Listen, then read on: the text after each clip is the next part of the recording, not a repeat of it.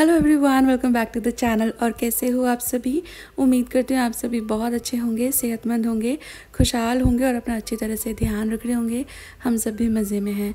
और सानवी खुशी है ना स्कूल से आने वाले थे तो उन लोगों के लिए मैं ये आ, मलाई वाला जो सैंडविच रहता है ना वो बना रही हूँ। इससे पहले उन्होंने कभी भी ये टेस्ट नहीं किया है। पहली बार मैं उनके लिए बना रही हूँ। एक्चुअली दूध रखा था मैंने बॉईल होने के लिए, वो बहुत ज़्यादा बॉईल हो गया। तो वो जो थोड़ा गुलाबी हो जाता है ना, फिर मीठा मीठा उसमें से ऑटोमेटिकली स्वीट हो जाता है। वो थोड़ा मीठी मीठी खुशबू आती है। और इसकी मलाई भी एकदम रबड़ी जैसी हो गई थी। तो फिर मैंने सोचा, मैं ये बना के देती हूँ। तो उनको मैंने फ़र्स्ट टाइम बना के दिया था। जब मैं छोटी थी तो मेरी मम्मी तो बनाती रहती थी आए दिन। तो हम लोग को तो बहुत ज़्यादा पसंद था। ना वेरी श्योर आपने भी ये टेस्ट तो ज़रूर कर रखा है। मम्मी तो एकदम सिंपल बना देती थी बट सानवी खुशी के लिए मैंने इसके अंदर थोड़ा इलायची पाउडर वगैरह भी डाला है and they enjoyed it a lot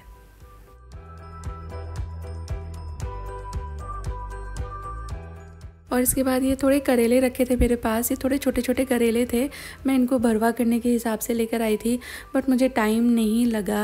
तो ये थोड़े से पुराने हो गए थे तो मैंने सोचा इनको काट करके इनकी सब्ज़ी बना लेती हूँ। भरवा जब आप करते हो ना तो सब्ज़ी जित जितनी ज़्यादा फ्रेश रहेगी, उतना ही ज़्यादा उसे एक तो कुक करने में टाइम कम लगता है, हैंडल करना ईजी रहता है और टेस्टी भी बहुत लगती है। ये देखिए थोड़े थोड़े से ना येलोनेस लेने लगे थे तो आई थॉट इसकी सब्ज़ी कर देती हूँ। तो मैंने इसको साफ़ कर लिया था थोड़ा नमक लगा के रख दिया था। मेरे पास थोड़ा पालक भी रखा था, जो मैं बच्चों को स्कूल में बना के दूँगी, ऐसा मैंने सोच के साफ़ करके रखा था। बट देन मैं नहीं दे पाई है उनके टिफ़िन में। तो आई थॉट कि इसको यूज़ कर लेते हैं, क्योंकि लीफी वेजिटेबल की भी लाइफ बहुत नहीं होती है, बहुत जल्दी ही पीले होने लगते हैं। तो काफ़ी सारा पालक था तो मैं इसको आज दो रेसिपीज़ में यूज़ करने वाली हूँ। थोड़ा मैंने यहाँ पे आलू चॉप कर लिए हैं, पालक भी मैंने भिगो के रख दिया है। हमेशा जो हरी पत्तेदार सब्ज़ियाँ होती हैं ना, उसे कम से कम पंद्रह से बीस मिनट ढेर सारे पानी में डुबो के रखा करें। तो इससे जो उसके पत्तों पे धूल वगैरह चिपकी होती है, मिट्टी वगैरह होती है ना, वो सब सेटल डाउन हो जाती है और एकदम साफ़ हो जाता है आपका साग। उसके बाद उसे रिंस करके आप इस्तेमाल कर लें। तो मैंने थोड़ा सा पालक जो है यहाँ पे चॉप कर लिया है। मैं आलू, प्याज के साथ पालक के पकौड़े बनाने वाली हूँ, सब कुछ मिला करके। और ये इतने स्वाद लगते हैं। क्रंची भी बहुत बनते हैं, टेस्टी बहुत लगते हैं। पालक के जो पत्ते हैं ना, वो फ्राई होकर एकदम क्रिस्पी क्रिस्पी बन जाते हैं। बहुत मस्त लगते हैं ये पकौड़े। तो मैंने आलू थोड़े छोटे ही काटे हैं और इसके अंदर कटा हुआ प्याज, हरा धनिया, हरी मिर्ची, पालक ऐड कर दिया है। थोड़ा सा काली मिर्ची का पाउडर मैं ऐड कर रही हूँ। बाकी मसाले आप आपकी चॉइस से कर सकते हो। मैं सिर्फ़ बेसिक मसाले डाल रही हूँ पकौड़ों में सो दैट सब्जियों का ज़्यादा टेस्ट आए। मैं बेसन भी कम ही ऐड करती हूँ पकौड़ों में। तो सब्जियों का बढ़िया टेस्ट आता है, वो क्रिस्पी ज़्यादा लगता है। थोड़े से मैंने इसके अंदर मसाले ऐड कर दिए हैं और इसके बाद मैं इसके अंदर ऐड करूँगी बेसन। बस इतना कि ये अच्छी तरह कोट हो जाए।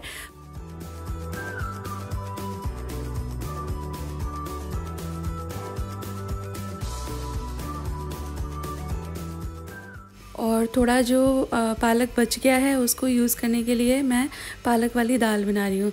अच्छा आपको मेरे पीछे से ना शोर सुनाई दे सकता है क्योंकि ये मेरे आजू बाजू बहुत सारा कंस्ट्रक्शन वर्क चल रहा है तो उसका नॉइज़ आ रहा है। तो पकौड़े बनाने के लिए ना, एक ये बहुत ही अच्छी टिप है जो हमेशा काम करती है, वो ये कि जो भी आपकी सब्ज़ियाँ हैं, पहले उसको बेसन और जो भी आपने पाउडर मसाले वगैरह ऐड कर दिया ना, उसमें ड्राई ही इस तरह से रोल कर लें कोट कर लें अच्छी तरह से, सब्जियों को ड्राई बेसन में, और उसके बाद फिर आपको आइडिया लग जाएगा कि आपको और बेसन मिलाना है कि नहीं। थोड़ा थोड़ा पानी डाल करके बैटर बना लें, और फिर इसको फ्राई कर लीजिए। एंड ये वाले पकौड़े बहुत अच्छे लगते हैं। मैं इसमें कभी कभी पालक मिलाती हूँ कभी कभी मेथी भी मिलाती हूँ एंड कभी कभी गोभी भी मिला देती हूँ। हर तरह से ये बहुत अच्छे बनते हैं।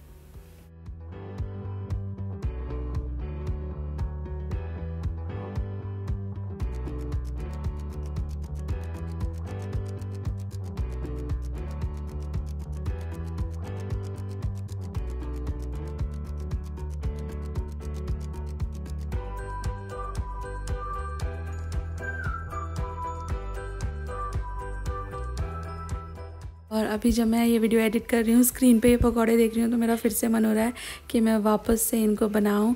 इनको लेकिन ना गरम गरम इन्जॉय कीजिएगा, चाहे तो चाय के साथ, चाहे तो चटनी के साथ। इनफैक्ट दही में ना तड़का लगा देंगे ना, उसके साथ भी ये बहुत अच्छे लगते हैं।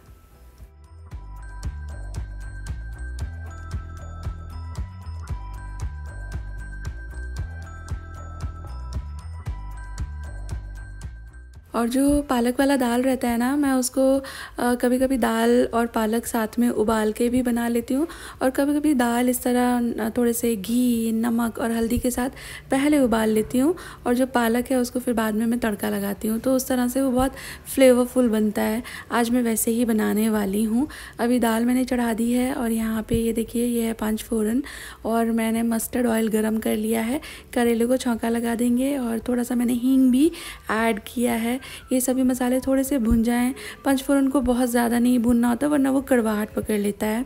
इसके बाद जो करेले थे, उसके अंदर हमने नमक लगा के रखा था ना तो इसके बाद उसको वॉश करना है तीन चार पानी से। थोड़ा सा स्क्वीज़ कर लीजिए उसका एक्सेस वाटर और इसके बाद फिर इसको ऐड करें।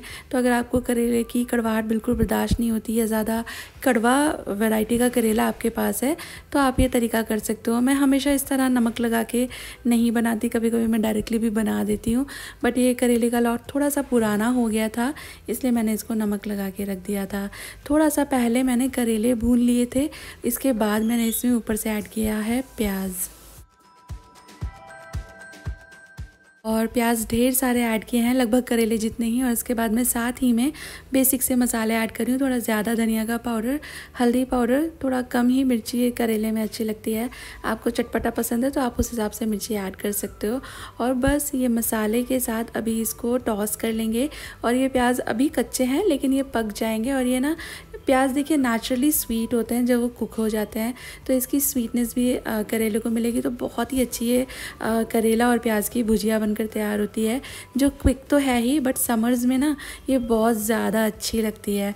तो यहाँ पर जो मेरे करेले डन हो गए थे, अच्छी तरह पक चुके हैं तो थोड़ी सी मैं शुगर ऐड कर रही हूँ, और उसी हिसाब से मैं थोड़ा आमचूर भी ऐड करूँगी, थोड़ा सा चुटकी भर गरम मसाला भी ऐड किया है तो थोड़ा खट्टा मीठा सा मीठे मीठे नहीं लगेंगे, पर जो हमने आमचूर मिलाया, उसको बैलेंस करने के लिए शुगर ऐड किया है तो वो एक उमामी सा टेस्ट आएगा, जो बहुत अच्छा लगता है।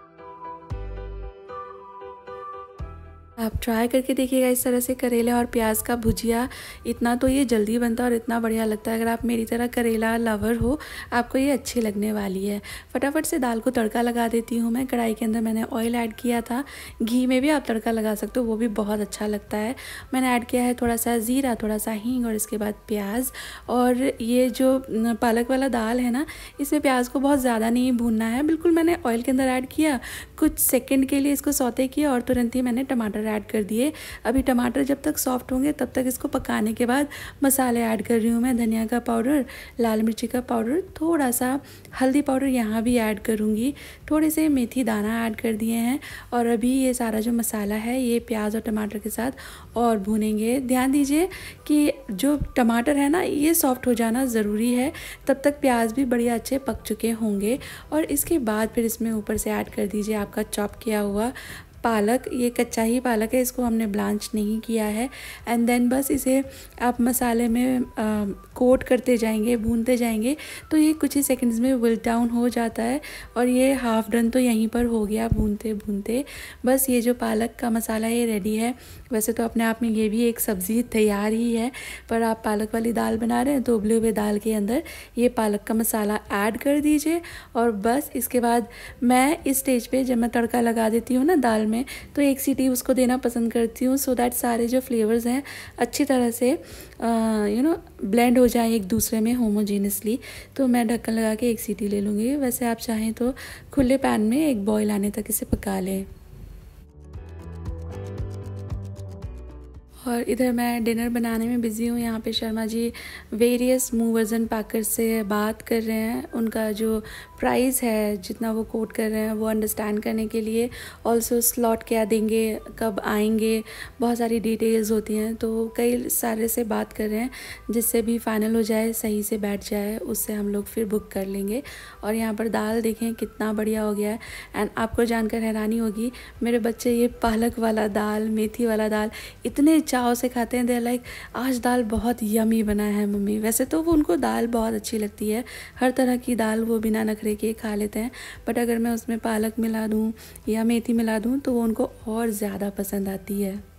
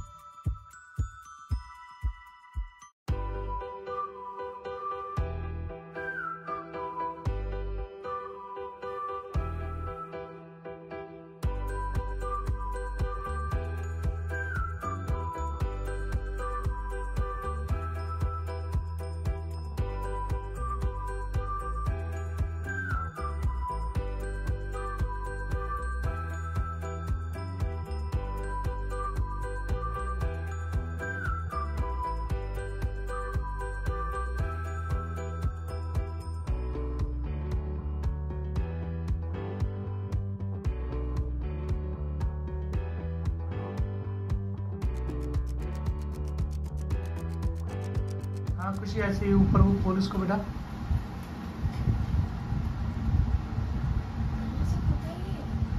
साइड से ही खोल इसको बाहर को खोल हाँ। खींच अपनी तरफ़ को।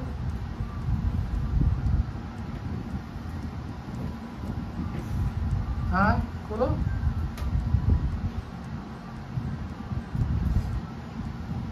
रुक जा, कुछ लगाना पड़ेगा। शानू दया दिखाओ, कैसे दया है? वेरी गुड और वो वाला बेटा? वो वाला भी बाकी है। दिखाइए कैसा है बिफोर शो में ये तो बहुत गंदा है। इसी की वजह से कूलिंग कम होती है पता है? मैं उधर से खुशी से निकलवा के लाता हूँ हाँ, दूसरी वाली ग्रिल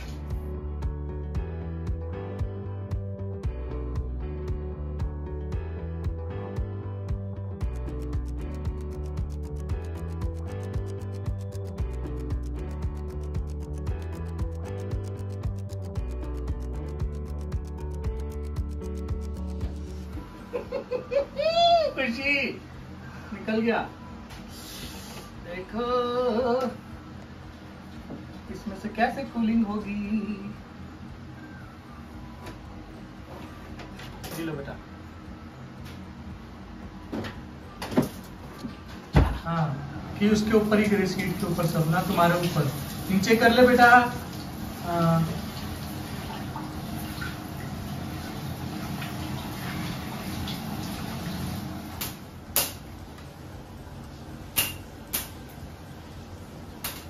ये देखो। दिख रहा हो ना इसमें से? हम्म। दोनों में से दिख रहा हो ना? हाँ जी। क्लीन हो गया बढ़िया कूलिंग होगी है चलो।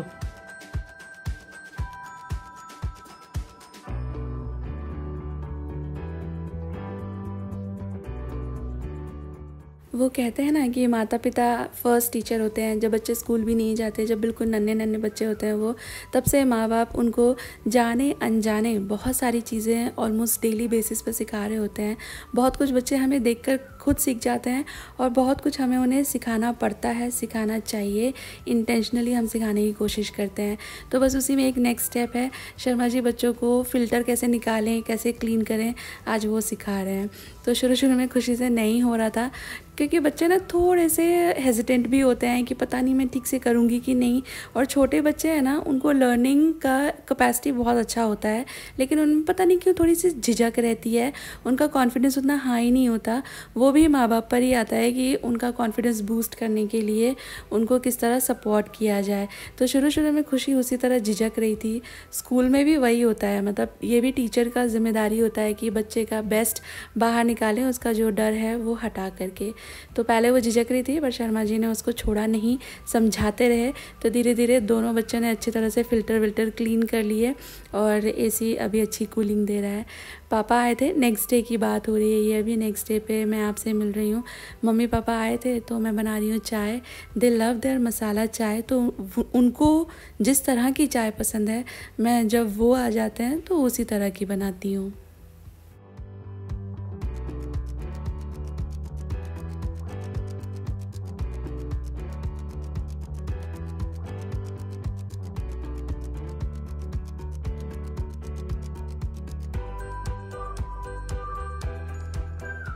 हमको मूवर्स एंड पैकर्स का अपॉइंटमेंट मिल गया था। मूवर्स एंड पैकर्स या पैकर्स एंड मूवर्स जो भी आप कहते हैं, क्योंकि दोनों ही तरह से नाम होते हैं उन लोगों के तो अपॉइंटमेंट मिल गया था। काफ़ी ज़्यादा नज़दीक का था। हम के, हमारे पास उतना ज़्यादा टाइम था भी नहीं। शॉर्ट नोटिस पे ही हम लोग जो शिफ्ट है वो कर रहे हैं, क्योंकि फिर शर्मा जी को ऑफ़िस रिज्यूम करना है। तो उनको जो हाउस स्टोर है, हम लोगों ने ऑनलाइन दिया था कॉल पर हाउस स्टोर दिया था। उन्होंने फिर सारा सामान देखा। देखा, फिर उन्होंने बजट बताया एंड देन देवर लाइक कि आपका ये बेड कैसा है? तो शर्मा जी ने कहा कि ये जो है डिसइंटीग्रेट हो जाता है। तो देवर लाइक कि वो हम नहीं करेंगे, सिर्फ़ उठा करके ले जाएँगे। तो फिर हस्बैंड को ये लगा कि ये फिर करके रख लेते हैं, इससे पहले कि वो लोग आएँ। तो दो बेड है मेरे पास तो दोनों को इस तरह से डिसइंटीग्रेट किया जा सकता है। तो शर्मा जी क्योंकि पापा आए हुए थे, उन्होंने पापा को बताया तो पापा ने कहा कि चलो फटाफट हम लोग मिलकर ये कर देते हैं। तो दोनों के दोनों बेड उन्होंने देखते ही देखते खोल दिए।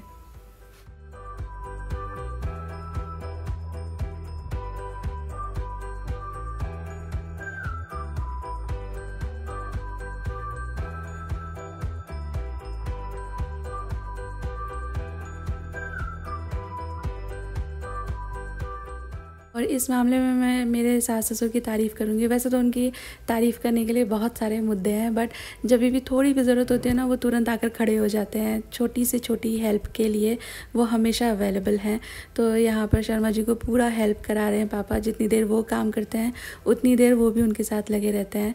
और यहाँ पर ये वाला बेड ऑलमोस्ट खुल चुका है। एंड एक और बात, आपने आज तक लगभग चार साल हो गए हैं। अगर आप शुरू से मेरे ब्लॉग देख रहे हैं, मुझे चार साल हो गए हैं ब्लॉग बनाते हुए। हमेशा मेरी भी कोशिश रहती है कि सफ़ाई अच्छी रखूँ, अच्छी तरह से ऑर्गेनाइज़ करके रखूँ, जिससे आपको भी देखकर अच्छा लगे और आपने भी ज़्यादातर सफ़ाई ही देखी है। बट ये पहली बार है जब मैं खुल के आपको मेरे घर की गंदगी, मेरा अगली घर दिखा रही हूँ विच इज़ लाइक प्रैक्टिकल घर जब शिफ्टिंग होती है, घर कितना मेस्डअप हो जाता है, क्या सामान कहाँ रखा है, कुछ आइडिया नहीं लगता और ये बेड खोलें तो इसके नीचे से भगवान जाने इतनी डस्ट कैसे इकट्ठी हो जाती है। इसको है ना डस्ट बनीज कहते हैं, जो आप कितनी भी सफ़ाई कर लें बट ये बेड के नीचे कबर्ड के ऊपर कहीं पे भी ऐसा सरफेस है, वहाँ पे आपको मिलेंगे ही मिलेंगे। तो जो बेड बेडरूम वाला है मास्टर बेडरूम वाला तो वहाँ पे हम लोग एक बार पहले भी उसको खोल कर सफ़ाई कर चुके हैं। फिर भी वहाँ पे इतने डस्ट बनीज इकट्ठे हो गए थे। ये जो सानवी खुशी वाला बेड है, ये तो पहली ही बार हम लोग सफ़ाई करेंगे, क्योंकि इट्स वेरी हैवी इसको मूव करना इतना आसान भी नहीं है। तो इसके अंदर बाहर सारी गंदगी आप देख लीजिए।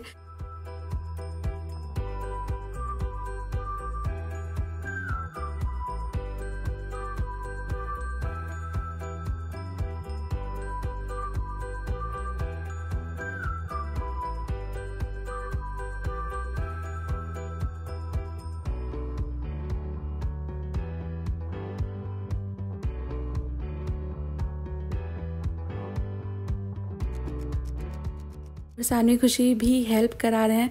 थोड़ा थोड़ा काम बिगाड़ रहे हैं थोड़ा थोड़ा सवार रहे हैं बट हेल्प करा रहे हैं। इस वक्त पे थोड़ी सी भी हेल्प मिल जाए, वो भी बहुत होती है।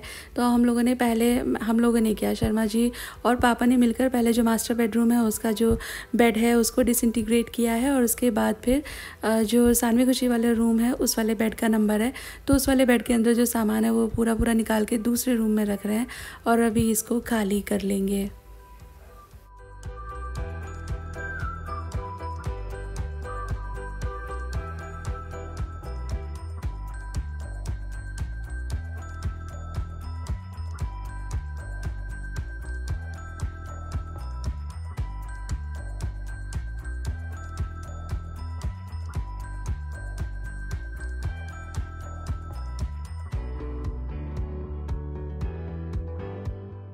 और ये देखें इस वाले बेड के नीचे ना बहुत सारी गंदगी थी। होता क्या है एक तो जो डस्ट बनीज मैं आपको बोल रही हूँ, वो भी हो ही जाते हैं। दूसरा क्या, जैसे हमारी जो डोमेस्टिक हेल्प होती हैं, आपके घर में भी ये होता होगा, जितना सरफेस दिखता है, वो बस उतने में ही सफ़ाई करती हैं। और कभी कभी झाड़ू इस तरह मारती हैं कि साइड में कोई चप्पल वप्पल रखा है तो वो सीधे अंदर चला जाता है। तो ये सानवी खुशी के ओवर द पीरियड आठ सालों में इतने चप्पल बेड के नीचे इकट्ठे हो गए हैं। और जो स्टेन आपको दिख रहा है, वो एक्चुअली हम लोगों ने इस घर में काम लगवाया था, जब फर्नीचर बनवाया था। तो वो तब जब भैया आए थे, उन लोगों का वो ग्लू वगैरह वहाँ गिरा हुआ है। पहले आया था इट्स जस्ट अ स्टेन तो उसको मैंने साफ़ करने की कोशिश भी की थी बाद में बट वो पोछे से हटा ही नहीं इट्स ग्लू बुरी तरह से जम गया था तो मैंने फिर बाद में हटा ही लिया था। हस्बैंड हेल्प भी उन्होंने उसको पूरा स्क्रेप किया।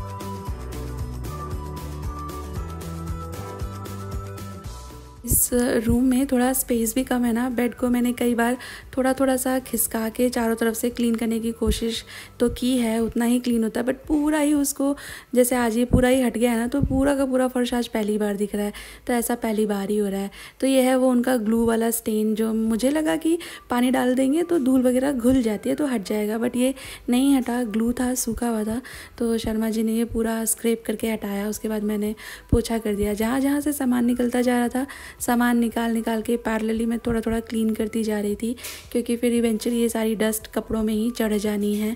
यहाँ वापस से चाय बना रही हूँ, हम लोग फ्री होकर ना बैठे थे। थोड़ा अभी काम से फ्री हो गए हैं तो थोड़ा मी टाइम निकालने के लिए। तो हम लोग देख रहे थे कॉमेडी ये stand up comedy with tea and family